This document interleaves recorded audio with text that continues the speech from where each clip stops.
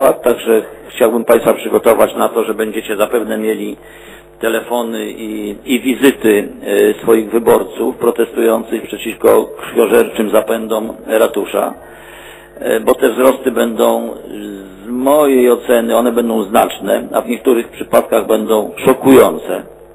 Ma- Mam dzisiaj zadać pytanie, i to jest zasadne pytanie, jak stoją sprawy przeszacowań wieczystego. Bo my jako radni powinniśmy jednak się przyjrzeć sprawie, bo tam są pieniądze, drzemią pieniądze, które mogłyby wpłynąć do budżetu i te przeszacowania powinny być na dość daleko zaawansowane. Jak to jest pani o, Pan Burmistrz, proszę bardzo.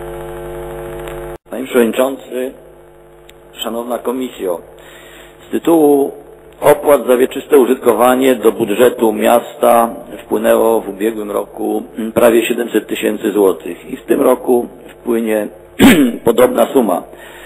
E, Szukając dochodów budżetu, e, rozpoczęliśmy operację zmiany opłat za wieczyste użytkowanie. Jak to się odbywa, to Państwo zapewne e, wiecie. Procedura wygląda tak, że zleca się wycenę działki i od tej nowej wyceny nalicza się 1, 3, a w naszym przypadku to czasami 5% i to jest opłata roczna. I ta procedura została uruchomiona, zlecenie zostało e, złożone, E, rzeczoznawca dokonuje tych szacunków. One będą spływały w najbliższych y, miesiącach. Do końca roku będziemy wysyłali zawiadomienia o zmianie opłaty za wieczyste użytkowanie. Na razie zagrożeń tu nie widzę. Spodziewamy się znaczących wzrostów y, tych opłat, także chciałbym Państwa przygotować na to, że będziecie zapewne mieli telefony i, i wizyty e, swoich wyborców protestujących przeciwko krwiożerczym zapędom ratusza, bo te wzrosty będą z mojej oceny, one będą znaczne, a w niektórych przypadkach będą szokujące. Liczcie się z tym, że takie wizyty będziecie mieli. Jeśli potrzebujecie jakiejś wiedzy, pytajcie, bo nie wiem, co Was, co was interesuje.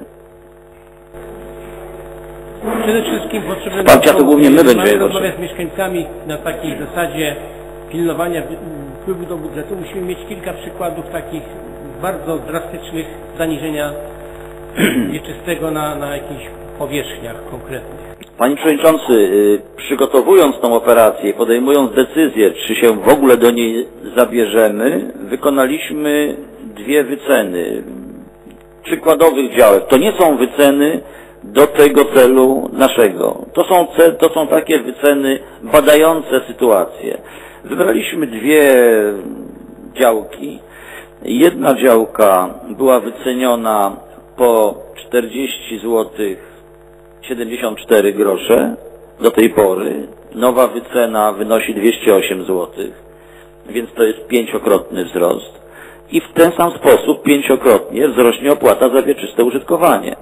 Druga działka wyceniona była na 128 zł, teraz ją wyceniono na 244, więc tu będzie wzrost dwukrotny opłaty za wieczyste użytkowanie. E, W niektórych przypadkach ten wzrost będzie znacznie większy. Ja bym się nie zdziwił, gdyby były działki, gdzie opłata wzrośnie 50-krotnie.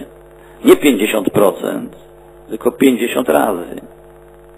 I to może być szokujące dla niektórych, szczególnie dla właścicieli, ale dla państwa również, bo ale to są konsekwencje tego, że wiele, wiele lat te działki nie były przeszacowywane. Bo jeżeli to 40 zł, o których mówiłem, to nie jest wcale jakaś tam rażąco niska cena działki w Ustce, która funkcjonuje i od której pobiera się opłatę za wieczyste użytkowanie. No spróbujcie kupić w centrum miasta działkę za 40 zł za metr kwadratowy. No jak to wygląda w liczbach bezwzględnych? No jeśli, Tak, jeśli, to tutaj- jeśli, działka ma, jeśli działka ma 500 metrów i była wyceniona po 40 zł, no to znaczy, że ona była wyceniona na 20 tysięcy złotych. Jeśli to była działka mieszkaniowa, no to opłata wie- za wieczyste użytkowanie za nią wynosiła 200 złotych. Jeśli to była działka gospodarcza, biznesowa, przemysłowa, no to ta opłata wynosiła 600 złotych. No więc jeśli teraz wzrośnie to powiedzmy pięciokrotnie, to w przypadku działki mieszkaniowej będzie to wynosiło e, 1000 zł z 200, a w przypadku działki e, przemysłowej z 600 na 3000. Z tym, że to jest przykład no, niewiele mówiący, bo jeśli weźmiemy działkę hektarową, a ona kosztowała nie 40 zł, tylko 80 i wzrośnie nie do 200, tylko do 170, to, to, to będzie bardzo różnie w przypadku bardzo różnych działek. Te opłaty będą bardzo wysokie w niektórych przypadkach, te wzrosty. To się skończy zapewne w kolegium do spraw, yy, w, kal- w, samorządowym kolegium odwoławczym w SKO, gdyż ten mechanizm działa tak, że właściwie decyzję o tym, jaka będzie wysoka opłata podejmuje rzeczoznawca. Ani burmistrz, ani rada nie ma tu nic do gadania. To nie, to nie jest tak, że będziemy mieli wycenę, a następnie ktoś przyjdzie i będzie dyskutował z burmistrzem albo z państwem. Ani burmistrz, ani rada nie ma takich uprawnień. Tu już działa kalkulator tylko.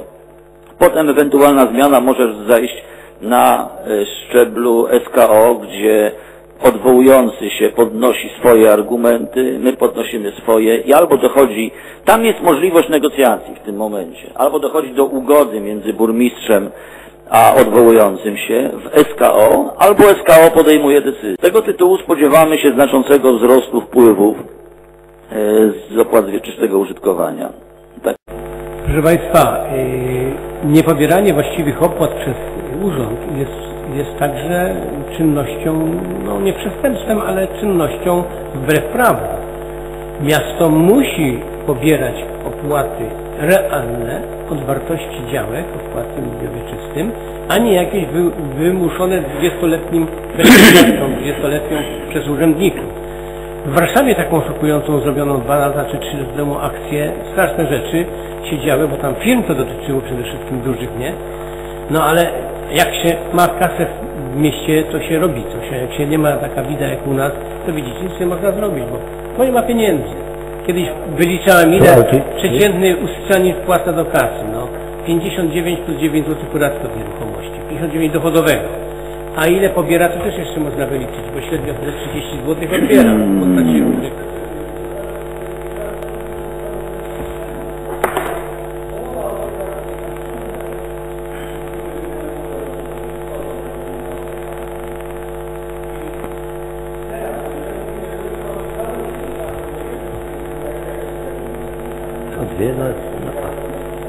Ja Wam powiem, proszę Państwa, jak jest w gminie. W gminie jest tak.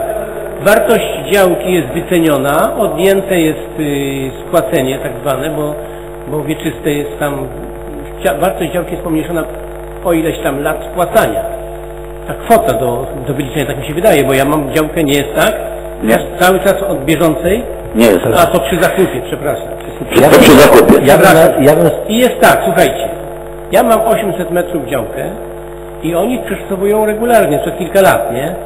I ze 160 paru złotych urosła mi cena na 400 chyba 60, nie? Czyli ale jest to realne, jeżeli działka jest tam warta 100 tysięcy złotych, załóżmy taka 1000 metrowa, no to ta, ta moja działka jest 70 tam ileś tysięcy warta, a tego 1%, tak? Nie, nie, nie, to mieszkaniówka jest inaczej. Jeśli to jest mieszkaniówka, to jest 1%.